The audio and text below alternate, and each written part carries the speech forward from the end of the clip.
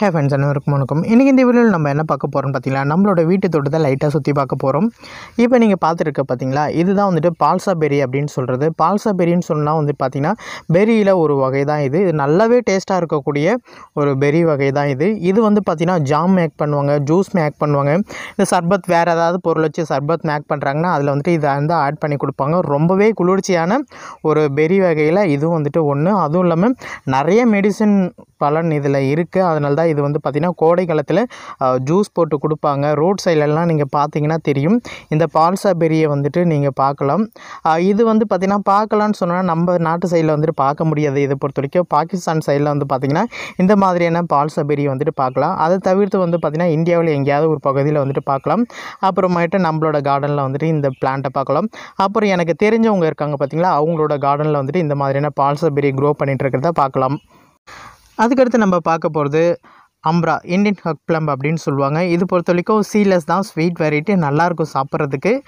இதில் வந்து பார்த்திங்கன்னா விதையாக இருக்காது. அப்படியே பிரித்து வந்து பார்த்திங்கன்னா அப்படியே சாப்பிட வேண்டியது தான் சீடு இருக்கிறது வந்து பார்த்திங்கன்னா கொஞ்சம் குட்டியாக குண்டாக இருக்கிற மாதிரி இருக்கும். இது வந்துட்டு சீடெல்லாம் கிடையாது. அப்படியே ஃப்ளஷ் மாதிரி தான் இருக்கும்.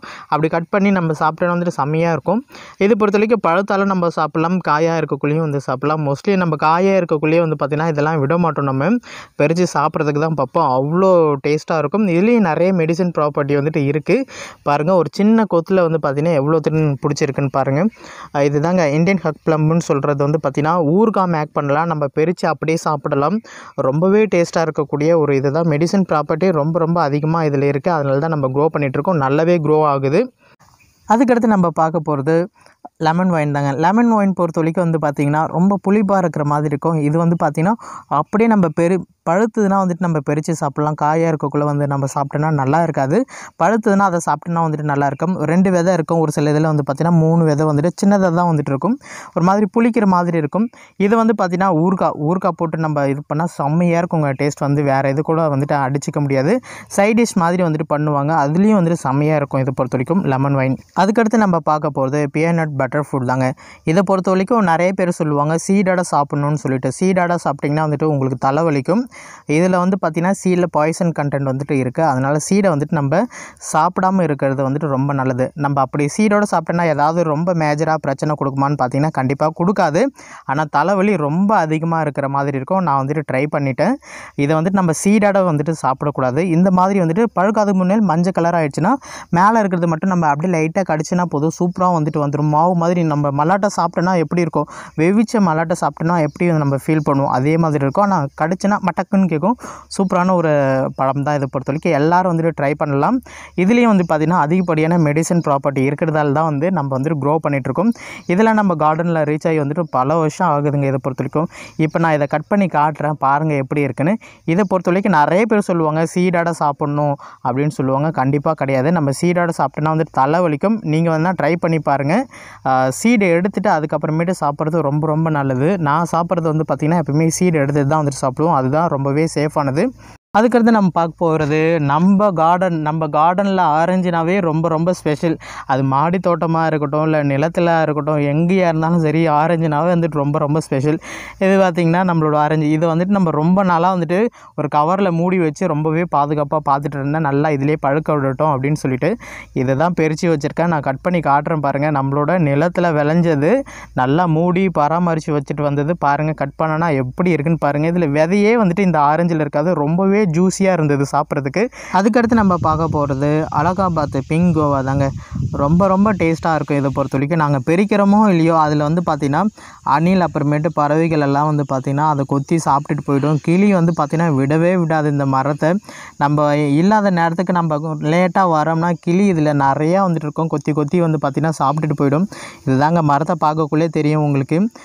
அணிலும் கிளியும் வந்து பார்த்திங்கன்னா விடாது. வேறு பறவைகள் எல்லாம் வந்து பார்த்திங்கன்னா அந்த அளவுக்கு உட்காராது அணில் கிளி இதோட தாக்கம் வந்து பார்த்திங்கன்னா ரொம்பவே மோசமாக இருக்கும். அதுக்கடுத்து நம்ம பார்க்க போகிறது ஒரு வகையான சப்போட்டா வெரைட்டி தாங்க. இது பா இதில் வந்து பார்த்திங்கன்னா ஒரு காய் வந்து நல்லா பழுத்து கீழே விழுந்துடுச்சு. மீதி ரெண்டு வந்து பார்த்திங்கன்னா நல்லா பழுக்கிற ஸ்டேஜில் இருக்குது இன்னொன்று வந்து பார்த்திங்கன்னா நல்லாவே பழுத்துடுச்சு. அதை தான் நான் இப்போ வந்துட்டு பெரிச்சு கீழே வச்சுருக்கேன் பாருங்கள் இதை வந்து பார்த்திங்கன்னா சுகர் ஆப்பிள்னு கூட வந்துட்டு சொல்லுவாங்க. சுகர் பேஷண்ட்டுக்கு கொடுக்கறது ரொம்பவே நல்லது. இதை பற்றி நான் தனியாக ஒரு வீடியோ ஒன்று போடுறேன். அதுக்கடுத்து நம்ம பார்க்க போகிறது ஒரு வகையான ஆல் டைம் மேங்கோ பிளான்ட் தாங்க பொதுவாக மேங்கோ பொறுத்த வரைக்கும் மார்ச்சில் ஸ்டார்ட் ஆகிட்டு ஜூலை எண்டில் வந்து பார்த்திங்கன்னா சீசன் முடிகிற மாதிரி இருக்கும். ஆனால் இந்த வெரைட்டியை பொறுத்த வரைக்கும் ஜூலையில் தான் பூக்கள் வச்சு அதுக்கு அடுத்து வரக்கூடிய நாட்களில் தான் வந்து பார்த்திங்கன்னா காய்களே பெருசாகிற மாதிரி இருக்கும். அதுக்கடுத்து நம்ம பார்க்குறது என்னன்னு பார்த்தீங்கன்னா பப்பாளி தாங்க. இதை பொறுத்த வரைக்கும் பார்த்தீங்கன்னா தெரியும் நிறைய பிரான்ச்சஸ் இருக்கும். அதனால தான் இதை கவர் பண்ணியிருந்தேன். கீழே வந்து பார்த்திங்கன்னா அஞ்சு பிரான்ச்சஸ் வந்துட்டு இருக்குது இந்த பிரான்ச்சஸ் பொறுத்த வரைக்கும் எங்கே நோடு இருக்கோ அங்கே வந்துட்டு கீறி விட்டால் போதும். அங்கே புது பிரான்ச்சஸ் வந்து ஃபார்ம் ஆகிடும் அப்படி பண்ணத்தான் இதை பொறுத்த வரைக்கும் கீழே நல்ல காய்கள் வச்சுருக்கு. பாருங்கள் நல்லா பழுத்து இருக்குது அதுக்கடுத்து நம்ம பார்க்க போகிறது ஒரு வகையான ட்ராஃப்ட் வெரைட்டி பனானா தாங்க. இது பொறுத்த வரைக்கும் நல்லா முத்திடுச்சு. இப்போ வந்துட்டு உடச்சி பழுக்க வைக்கிற டைம் இது. இதிலே வச்சுன்னா பார்த்தீங்கன்னா தெரியும். இதில் வந்து பார்த்திங்கன்னா ஏதோ வந்துட்டு கொத்தி சாப்பிட்டு டெஸ்ட் டெஸ்ட் பண்ணிட்டு போகுது. அதனால தான் இதை வந்துட்டு நான் உடச்சி வச்சிட்டேன். இதில் வந்து பார்த்திங்கன்னா ஒரு இருபது காய்களுக்கு மேலே இருக்குது இதை வந்துட்டு ஒரு ரெண்டு நாள் வந்து பழுக்க வச்சாவே போதும். இது நல்லாவே பழுத்துரும். அதனால தான் பெரிச்சு வச்சாச்சு. பாருங்கள் எப்படி இருக்குன்னு. சூப்பராக இருக்குது நம்மளோட தோட்டத்தில் விளைஞ்சிது. அதுக்கடுத்து நம்ம பார்க்க போகிறது சிகப்பு அத்தி தான். சிகப்பு அத்தி இது வந்துட்டு சாப்பிட்ற அத்தி. அத்திலே நிறைய அத்தி இருக்குது இது வந்து பார்த்திங்கன்னா சிகப்பு அத்தி. இது வந்து பார்த்திங்கன்னா நம்ம பெரிச்சு பழுத்ததுன்னா பெரிச்சு சாப்பிட்டோன்னா செமையாக டேஸ்ட்டாக இருக்கும். இது பார்க்குறது ரொம்ப பெருசாக வந்துட்டு நம்மளோட கிளைமேட்க்கு வந்துட்டு வரல. ஃப்ரூட்டோட சைஸ் வந்து பார்த்திங்கன்னா கொஞ்சம் சின்னதாக இருக்கிற மாதிரி தான் இருக்குது ஆனால் வந்து பழுத்ததுன்னா நல்லா வாசனையாக இருக்குது நான் வந்துட்டு சாப்பிட்டுட்டு கீழே போட்டிருந்தேன். ஒருத்தங்க வந்துட்டு பார்த்தீங்கன்னா இது என்ன வாசனையாக இருக்குது அப்படின்னு சொல்லிட்டு எடுத்து பார்த்தாங்க. அப்போ தான் நான் சொன்னேன் இது வந்துட்டு அத்திங்க. அதை சாப்பிட்டு நான் கீழே போட்டிருந்தேன். அப்படின்னு சொல்லிட்டு சொன்னேன்.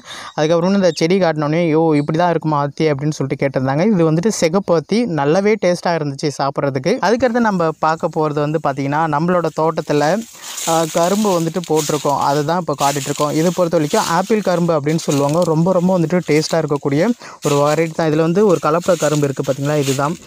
இது வந்து பார்த்திங்கன்னா நம்ம சோலையை உரிச்சு விட்ருக்கோம் நல்லாவே டேஸ்ட்டாக இருக்கும் சாப்பிட்றதுக்கு. அதில் தான் வந்துட்டு பார்த்திங்கன்னா இதில் ஒரு காட்டலாம் அப்படின்னு சொல்லிட்டு சைனா சைனாக்காரனுங்க தான் வந்து பார்த்திங்கன்னா இந்த கரும்பு வீடியோலாம் வந்துட்டு போடுவாங்க. சரி நம்மளும் வந்துட்டு போடலாம் அப்படின்னு சொல்லிட்டு இதில் வந்துட்டு போட்டிருக்கோம்.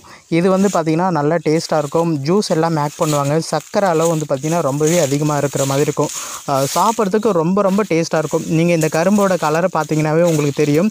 ஒரு மாதிரி பச்சையாக இருக்கும் பார்த்தீங்களா அந்த கரும்பெல்லாம் ரொம்ப சல்லுன்னு இருக்கிற மாதிரி இருக்கும். இது பொறுத்தளவுக்கு நல்லாவே டேஸ்ட்டாக இருக்குது அதுக்கடுத்து நம்ம பார்க்க போகிறது சீமை இலந்தை தாங்க.